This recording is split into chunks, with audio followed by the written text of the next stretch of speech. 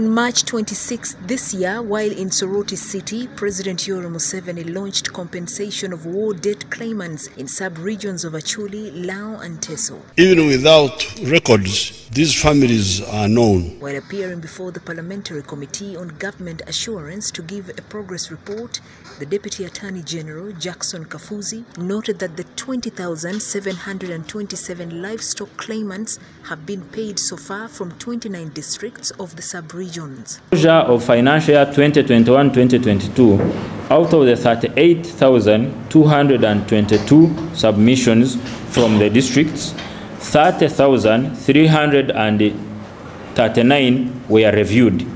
Out of the 30,339 submissions reviewed, 20,727 were paid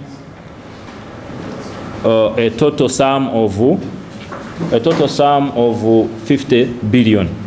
Payments were made to claimants from 27 districts. People have been compensated for 1 to 50 cows at a cost of 1,050,000 shillings per head.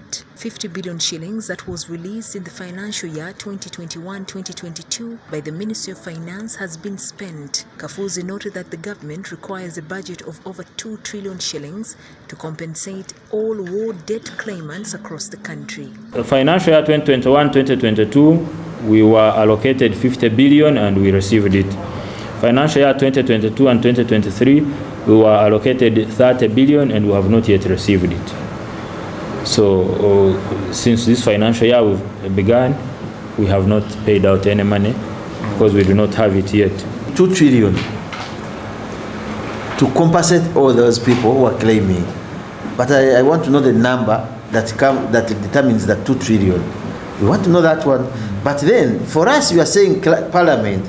Parliament, yes, ca can we, we, do our role. But can you provide with this committee your policy statement indicating this money as demanded for by the Minister of Justice and you, you, you, no, the Attorney General's office, the Attorney General. Because if you talk about Parliament, but it's not within your policy statement, then we need to, we, we don't know we can talk with the finance, because these things must come to an end. In the same vein, Kafuzi assured other regions that all is not lost because the government plans to roll out compensations in regions of Karamoja, West Nile, Sebei, Bukedi and Busoga that were equally affected by the insurgents. Which were affected by insurgency would be incorporated in the next phase.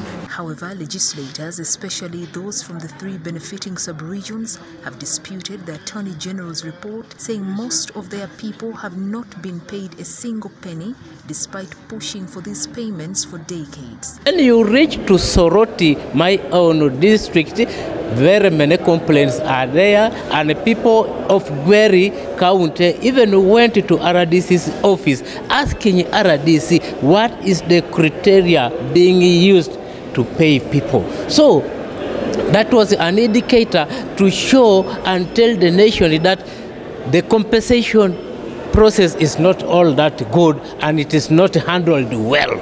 About nine to ten years ago, we are still talking about the same compensation exercise. So me, what I've told my people is that they should forget about this compensation thing. They should mind about their own businesses because they have really suffered you can imagine since 2003 up to now, people were being forced to ask to, to, to open bank accounts. Bank accounts you open with your small money. After sometimes the bank account is closed. You need to go back and reopen because the money that you have opened with has been taken up by the bank.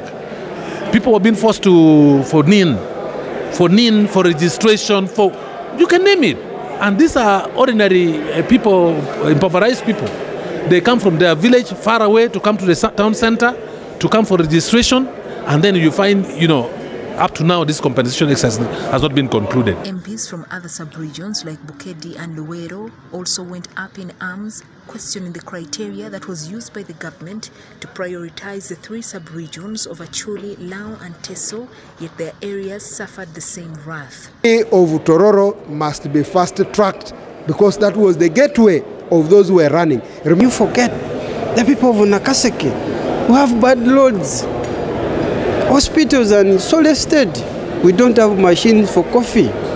These are the infrastructures we need to have. We don't have even a single tamakti road in Nakaseke. But for them, they are paying other people. But we are, we are watching people of Nakaseke. Report by Fred Kajubi for the news.